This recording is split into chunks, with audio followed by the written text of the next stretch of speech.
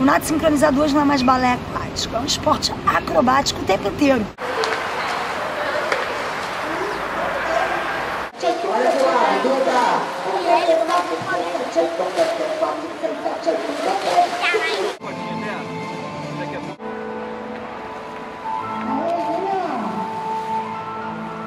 Porque de abrir uma escolinha aqui no IAS. Conta de 10 agora, conta de 10, alunos são sem conta. Eles escravos.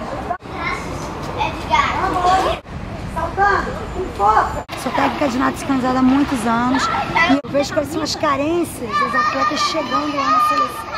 O trabalho de base do Brasil está vindo mais fraco. Está sendo trabalhado extensão, ponta de pé, posições básicas definidas. Um, dois.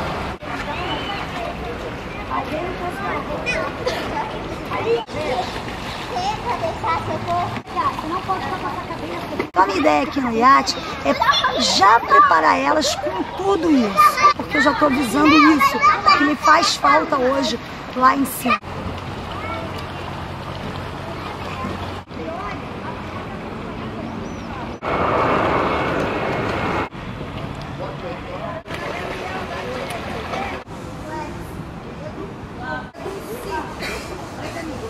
Mim, o esporte é uma escola da vida. Tem que saber lidar com emoções o tempo inteiro. É a amizade, é o grupo. Tem que lidar com a competitividade natural, que é o que mais tem hoje em dia no campo de trabalho. E disciplina também. Um, dois, três, quatro, cinco, cinco, seis, sete. O que eu preciso de uma equipe de nada sincronizado é sincronia em todos os, os aspectos. Subir no um, botei o braço no dois, três, quatro, cinco, não é nada disso.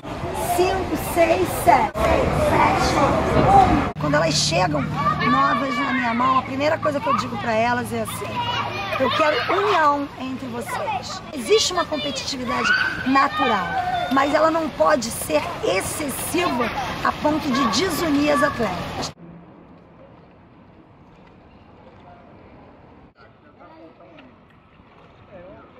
I mean, if you want. Like, like